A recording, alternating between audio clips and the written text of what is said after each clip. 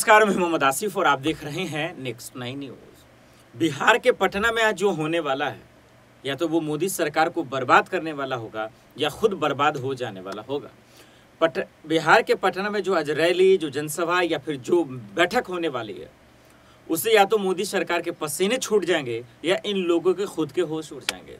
दर्शकों, जो इस वक्त की सबसे बड़ी खबर आ रही है, वो ये कि अपोजिशन की जो सबसे बड़ी मीटिंग होने वाली है उस मीटिंग में पटना में जो आज का सबसे मेगा मीटिंग इसको कह सकते हैं जो होने वाली है।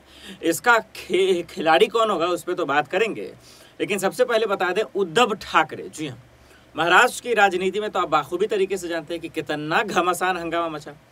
इसलिए सबसे बड़ा सवाल आपको बताते जा रहे हैं कि क्या वाकई में ये खेल है ये सच्चाई है कि उद्धव ठाकरे ने क्या कहा कि मोदी जी अपनी कमर की पेटी बाँध लीजिए, क्योंकि ऐसा 2024 में एक ऐसा दिन आएगा कि आप झोला उठाकर चले जाएँगे।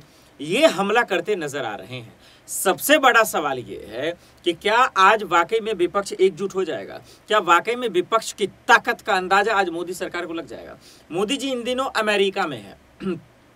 और अमेरिका में है तो सबसे बड़ा सवाल है कि क्या वाकई में मोदी जी आज जो है इस पर ध्यान देंगे? उनकी टीम हालाँकि बयान पे बयान देते जा रही है, बीजेपी के नेता प्रवक्ता वो हम आगे बताएँगे। लेकिन सबसे पहले उद्धव ठाकरे ने साफ़ शब्दों में कहा कि मोदी जी झोला उठाकर 24 से निकल देंगे, क्योंकि बार बार झोला उठाने की बात कर रहे हैं, इसी चीज़ को लेकर वो तंज कसते नज़र आ रहे हैं।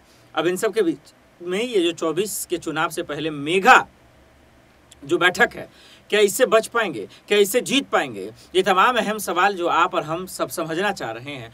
देखना पड़ेगा कि आने वाले वक्त में क्या होता है और देखना पड़ेगा कि वाकई में उद्धव ठाकरे के बयानों का जवाब क्या बीजेपी दे भी पाएगी? ये बड़ा सवाल है दर्शकों। देश दुनिया की बड़ी खबरों के लिए देखते रहे नेक्स्ट नाइन न्यूज़ नमस्कार।